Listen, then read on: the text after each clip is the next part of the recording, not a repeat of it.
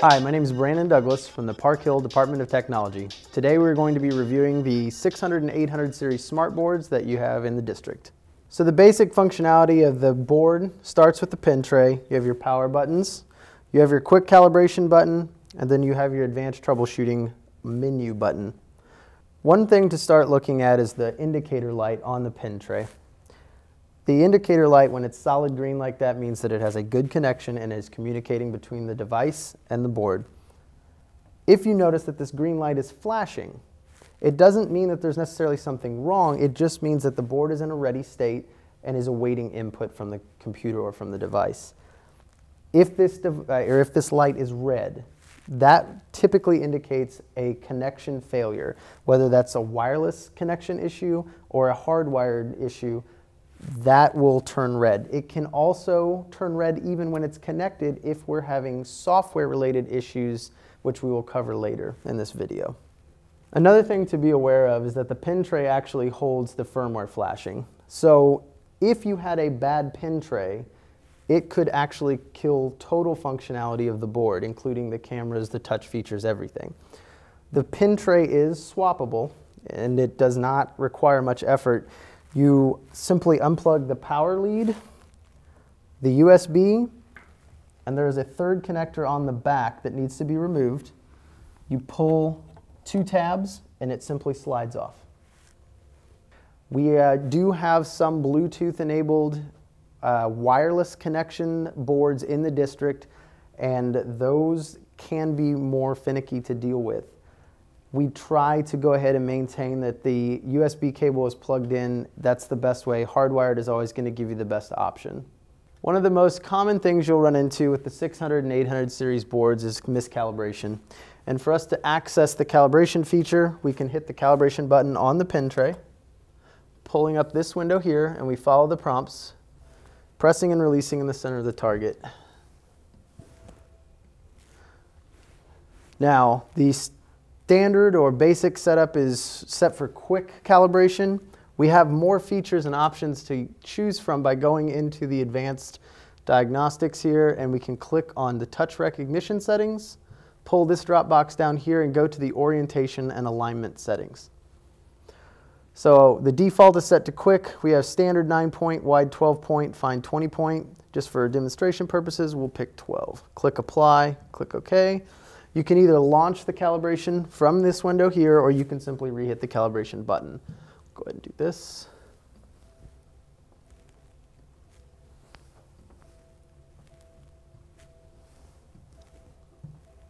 The advantage of a more point calibration is a finer calibration. The disadvantage is more time.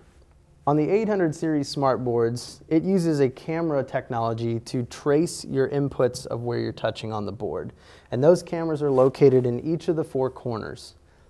Now, it's worth noting that they are extremely sensitive. They cannot be cleaned with alcohol or water, and they can only be dusted. While talking about cleaning of the smartboard, this track along the top and the bottom with the reflective surface can cause input lag and issues. That can be cleaned. The whole board itself can be cleaned by spraying a alcohol and water-based solution onto a rag and then wiping down both the board and these reflective surfaces. There are also reflective surfaces behind these side bezels, inside of these side bezels here, that need to be cleaned as well. And again, always spray onto the rag, not onto the board. Now we're going to take a second to show you the difference between the 800 series smartboards and the 600 series smartboards. So here we have the 600 series smartboard. It does not have the cameras you'll notice and it does not have the reflective bezel around the edges. This one actually uses touch input and voltage references to map your inputs onto the board. The pin tray is actually a little bit different. It does not have the connections in the back like the 800 series does. There's actually only one cable that needs to be unplugged, but it does remove in the same fashion that the 800 series does. In order to access the, to quickly access the calibration menu, you can depress these two buttons at the same time and release, and that will put you into calibration mode. And to get into the advanced calibration window, you can click on this small little question mark directly underneath the eraser. Just like the 800 series, on the side here, this is going to be where you're going to find your serial number for your board. This here is where your AB USB cable connects to into this serial controller on the back side right here. The reason I'd like to point this out is for the few boards that are still using the Bluetooth wireless connectivity, the wireless receiver will attach to the top of this serial controller. So if you do find yourself using one of those boards, this is where you're going to go and look at to make sure that it is syncing correctly with the PC. This here is also the indicator light and it functions in the same way that the 800 series board is, just to point out that it's on the side of the board, not on the pin tray.